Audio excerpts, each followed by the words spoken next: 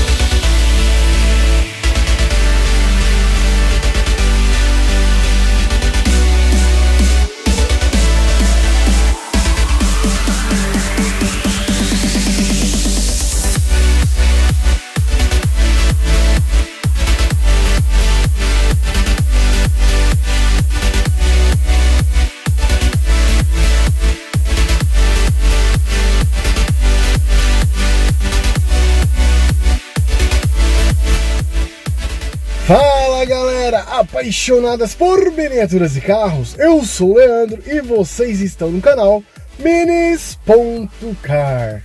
Galera, hoje temos um assunto aí, é... para quem é dono de touro ou para quem quer adquirir, eu acho que as novas nem tanto, né? Mas das modelos 2021 a 2022, que é no caso uma das primeiras que saiu dessa nova versão, que é a minha, né? Que é 1.3 turbo, é tem algo que está acontecendo com ela, galera. Mas a gente já vai estar tá falando sobre isso. Não esqueça, sabe? É uma dica muito importante.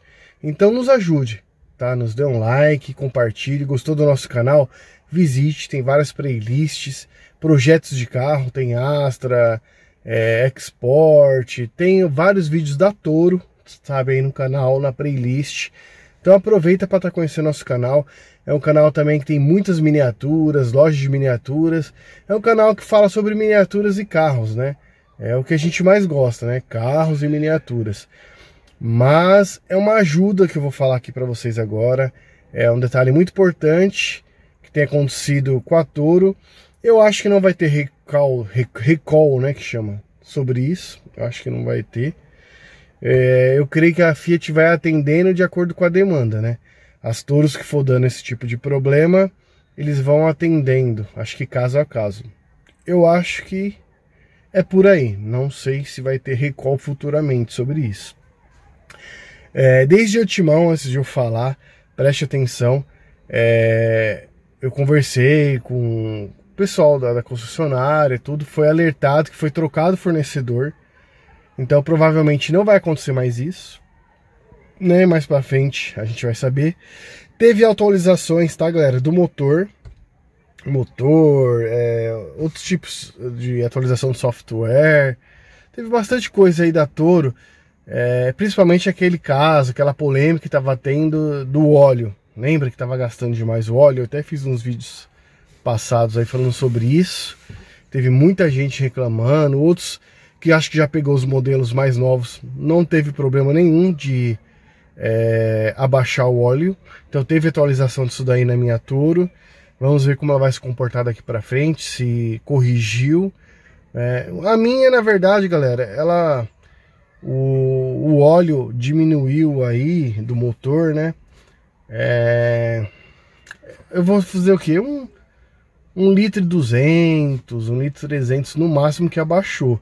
Então se for olhar, tá praticamente dentro do normal, né? Apesar que o normal aí, motor amaciano, é no máximo meio litro, né?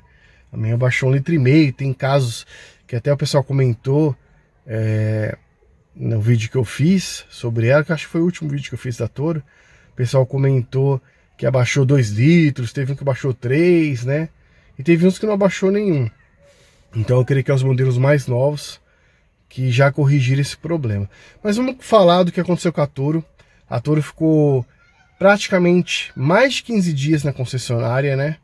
É, tive que pedir carro reserva, demorou umas duas semanas para eles me liberarem. Não, acho que foi uma, uma semana para me liberarem o carro reserva, foi duas semanas.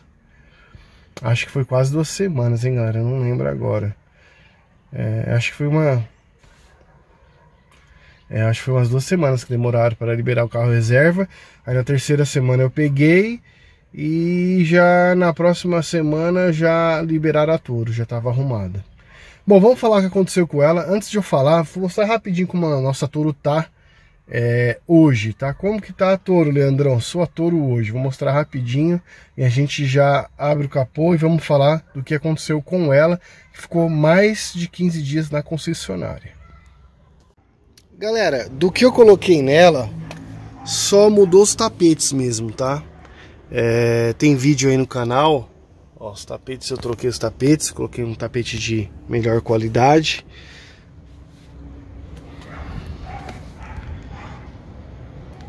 Que legal aqui o descanso de braço, né, com porta-copo, ó.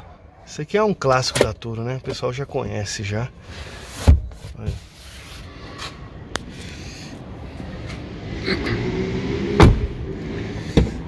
É, ó, tapete personalizado com o nome da Toro.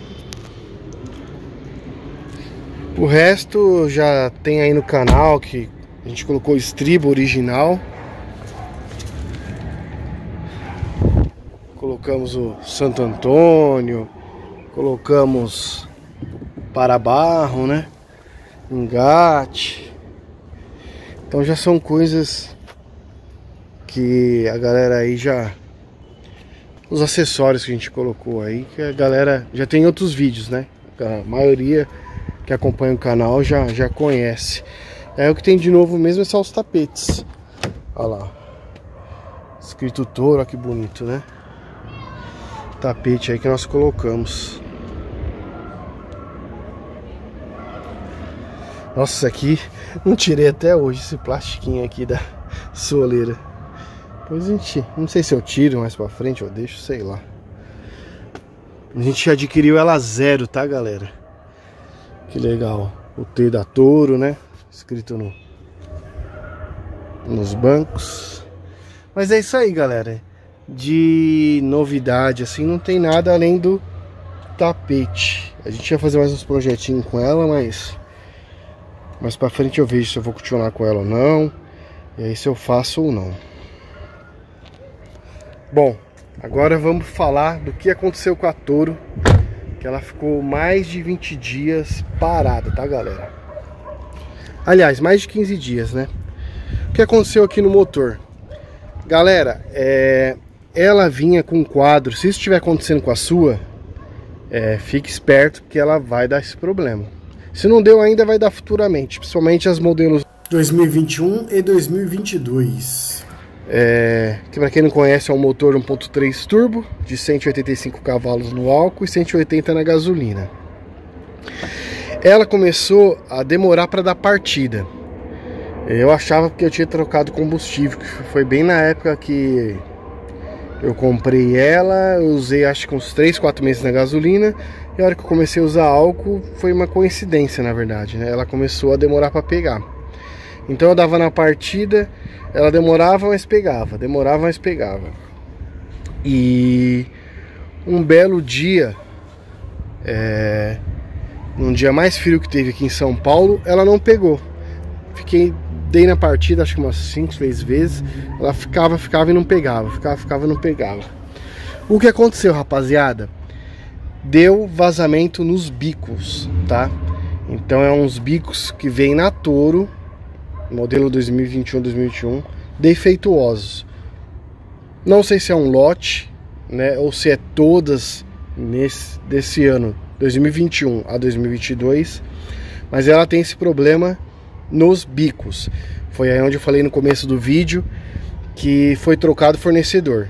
Então não é mais para dar esses problemas no bico. Vazou, todos, o, vazou todo o líquido de combustível, arrefecimento, né?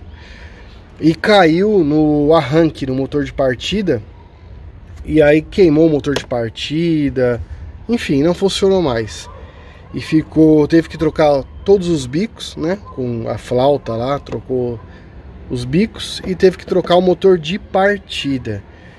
Então é um problema aí que ainda bem que deu na garantia, porque o carro fez um ano agora que está comigo. Tá com 8.500 km, 8.600. Não chegou nem a atingir os 10 mil, a gente já fez a revisão dela, tá?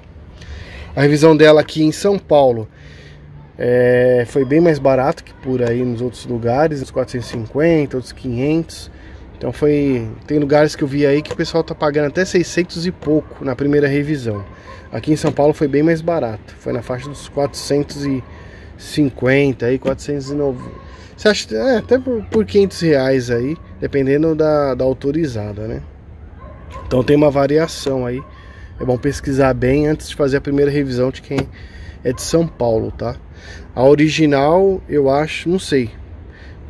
É, que eu vi até o momento foi a com preço mais barato para fazer a primeira revisão da Toro. Não sei outras, né? Talvez possa ter outras mais baratas, não sei. Então vamos ver como é que se comporta aí mais um ano, dois anos. Espero que tenha solucionado esse problema. E a gente pegou um mob é, e ele tava com vazamento nos bicos também, tá, galera? Um colega meu que viu, falou: esse carro tá vazando combustível pelos bicos. E esse mob era novo, viu? Era um modelo 2023, tem até vídeo aí no canal. E na minha mão teve uma hora que ele não quis nem pegar. Então é um outro carro que logo logo vai dar problema. É carro de locadora, vai dar problema muito mais rápido que deu esse daqui, né? Ele já tava com 6 mil quilômetros. Esse aqui deu problema com 8 mil. Então eu não sei se é um lote, o que que é, galera. Se é todas as touros a partir de 21, a, do, a, do 21, 22, né, o modelo. É, não foi só a minha, tá? Eu cheguei na concessionária, já tinha uma lá com o mesmo problema. É, diz que em Manaus já tinha umas 10 lá, 15 paradas com o mesmo problema. Então foi um defeito de fabricação dos bicos, né? Do fornecedor aí da, da Fiat. É... é isso aí, galera. Espero que vocês tenham gostado. É um vídeo importante, né? Esclarecedor. Né? Então fiquem atentos. A torre tá muito ruim. Você está insistindo demais para ela pegar. Provavelmente ela está com vazamento. É, provavelmente, tá, galera? ela está com vazamento aí nos bicos, vai ter que tocar flauta, bico. É, se chegar ao caso extremo igual o meu, que vazou tudo lá, que eu fiquei insistindo para pegar e não pegava, é, vai embora o motor de arranque. Meu, é, um, é algo chato assim, mas ao mesmo tempo é, é confortante porque a Fiat não tá deixando ninguém na mão, tá?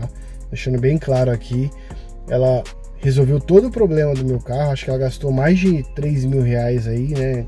Custo para fábrica, sei lá, de prejuízo.